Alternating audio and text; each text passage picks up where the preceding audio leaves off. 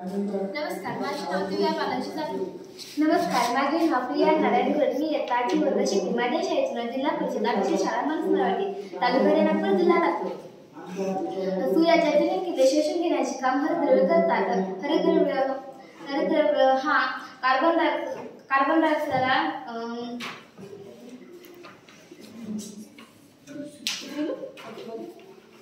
सूर्यापासून जे अतिनील किरण येत असतात ते पृथ्वीला घटक असतात आणि त्या ते जे अतिनील किरणांची ऊर्जा शोषून घेण्याचे काम ओझोन वायू करतो आणि गेल्या काही वर्षात औद्योगिकरण खूप वाढले आहे. आणि अगोदरच्या काळात कसं होतं माहितीये का? मानव हा फक्त स्वतः फक्त कमवत होता आणि आता मानवाला मानवाच्या गरजा वाढल्या आहेत. त्यामुळे त्याचा खर्चही वाढला आहे. खर्चासाठी काम महत्वाचं आहे? त्यासाठी मानवाने औद्योगिकरण हे हा हे क्षेत्र निवडले आहे. त्यामुळे औद्योगिकरणाचे खूप विस्तार झाला आहे.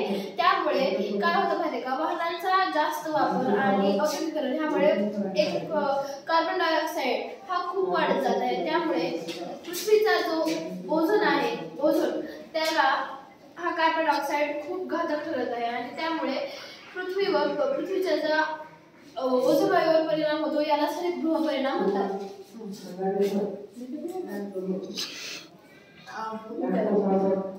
तर यासाठी उपाय आहे फ्रीज कूलर फ्रीज आणि फ्रीज आणि एसी यासारखा वापर करण्यापेक्षा झाडाखाली जाऊन एसीचा वापर करायला पाहिजे आणि फ्रीज फ्रीजमध्ये पाणी गार होतो पण माठातलं पाणी पिण्याचं यासाठी लाइट लाईटचा लाईटीचा जास्त वापर होतो.